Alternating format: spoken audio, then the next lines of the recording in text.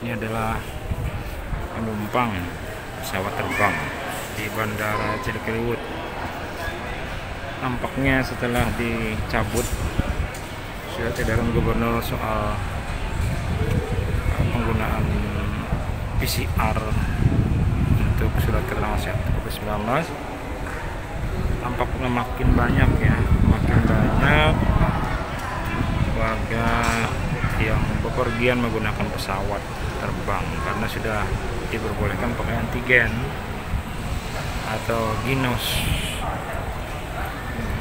Ini di Bandara Cilikriwut Raya Kalimantan Tengah. Tempat rapid test antigen dan ginos.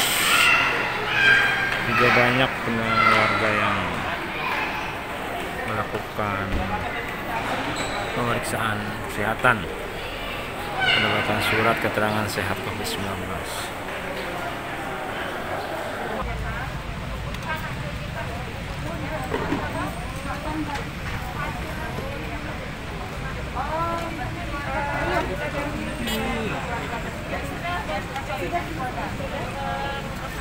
Oh, belum. Yang pertama kalau masuk kemarin kan sudah antigen ya, Mm. dari swab ke antigen. Ini barusan juga ada eh, kemarin kami rapat. ya. Mungkin akan sesuaikan dengan ppkm mikro kembali jam 10 ya, tapi belum itu nanti dipastikan. Tetapi eh, saat ini konsentrasinya adalah vaksinasi. Hmm. ya vaksinasi tadi juga tadi pagi saya mau apa mengecek di kelurahan Panarum.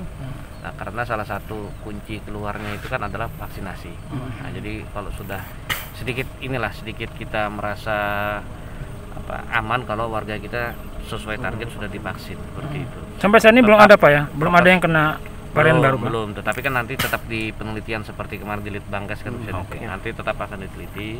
Perkembangan-perkembangan pasti akan diinformasikan